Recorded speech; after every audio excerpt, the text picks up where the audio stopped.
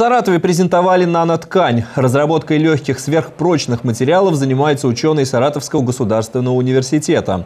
Лаборатория создана на базе завода «Рефлектор». В настоящее время на производстве применяют мембранные покрытия импортного производства. Однако разработки СГУ в скором времени позволят обойтись без импорта и производить ткань с покрытием различных свойств – противоударной или невидимой в определенных лучах.